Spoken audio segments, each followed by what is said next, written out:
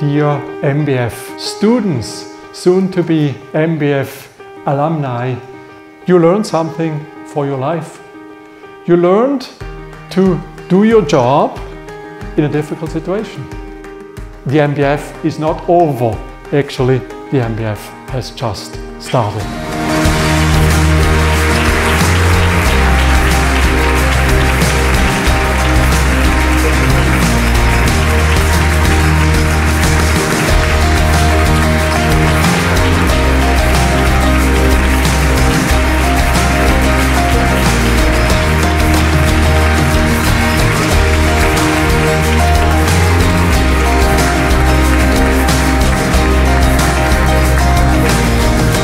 All found many friends among MBF students.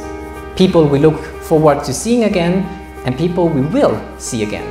The strength of the community is that it will not end with our studies. Let's be grateful to our friends and families here today who supported us throughout this great adventure. Now, we still haven't officially graduated yet, so let's not miss our last deadline ever as a master student.